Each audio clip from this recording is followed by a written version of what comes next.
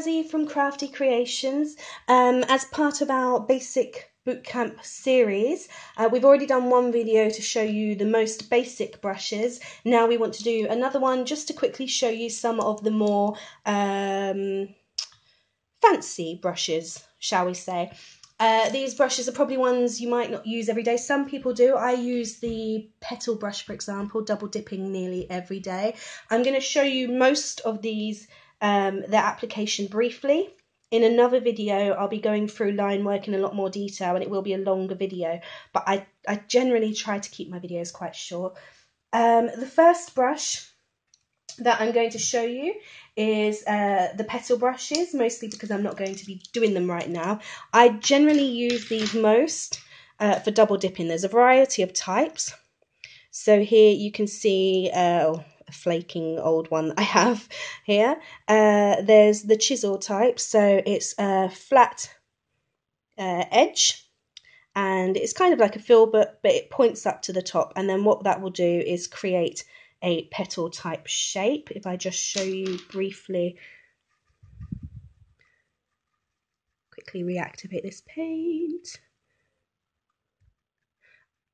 I think I may have said this previously, but in another video I will show you um, how to activate your paint properly as it's it's really something people need to know to be able to stop the paints going gloopy, for example, but um, also to get the most out of your paint.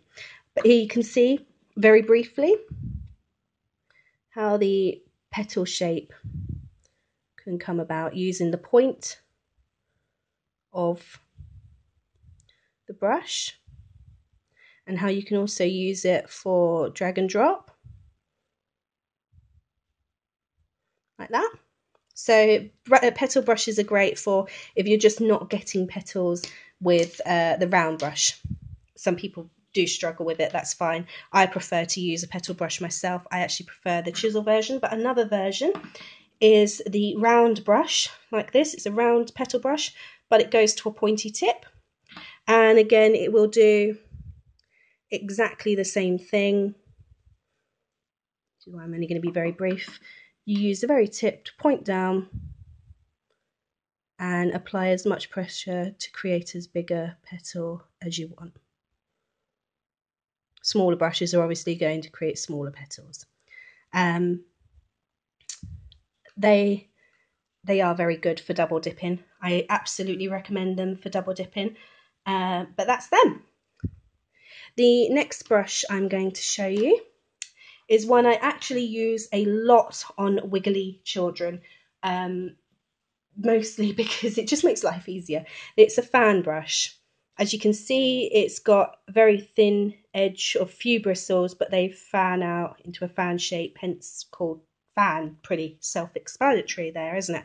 Uh, this brush has, it's, it's, it's very good actually, to be fair, for other things too, but I use it most for creating um, either ferns, so you can use the very tip to create fern-like lines, or that could be kind of brought down to create a tree, you know, in the background, for example.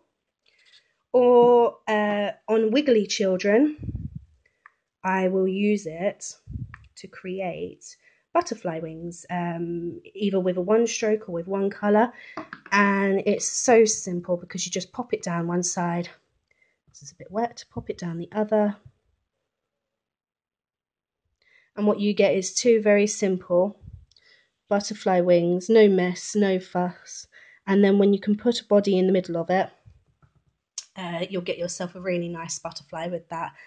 And it depends how wiggly the child is to how much detail you put on it. So very good brushes for that.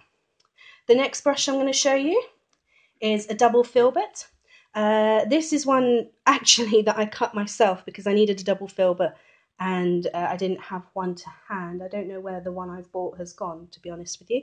Uh, it is a, as you can imagine, a filbert that's been cut down the middle and then rounded.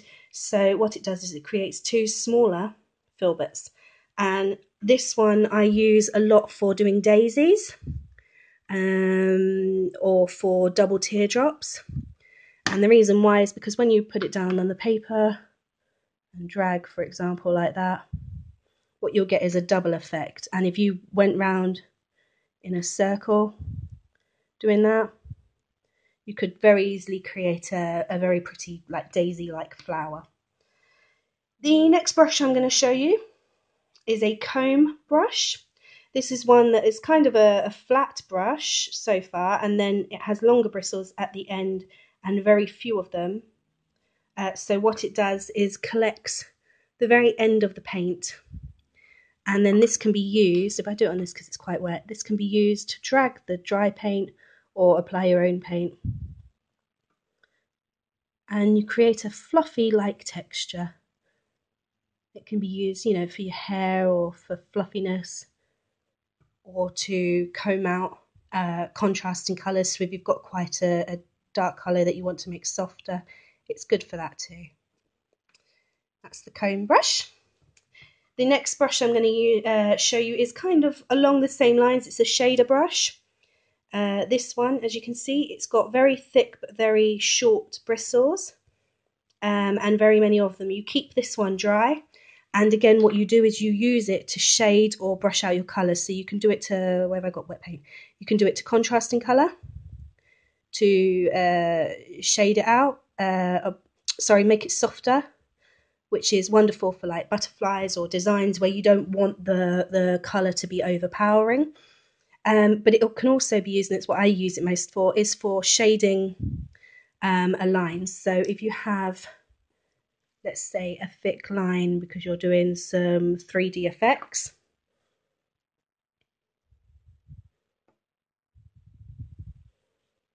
like that. You can then use this brush to just shade out the edges and make it kind of more more 3D, more standout which is, is great for if you're doing body illusion work. I use that for. And the last brush I'm going to show you today is the um, the dotter. This is actually a sponge head. It has a sponge applicator at the top, um, and it's used a lot for people who perhaps don't get on so well with um, using a round brush or a liner brush for their dotting. I personally prefer a liner for my dotting. I don't use this one very often, so I'm probably out of practice, but here we go. The idea behind it is that you can use it to create perfectly round dots by pressing as much pressure as you want. And as you can see, they are perfectly round. Of course, it does take practice because if you press too hard, what you're going to find. Oh, because I've done the paint perfect. Hold on let me just pull some of that off. Um, if you haven't put enough paint on or if you're pressing too hard, what you'll find is you'll get the dot and then you'll get a blank bit in the middle like that. That's it.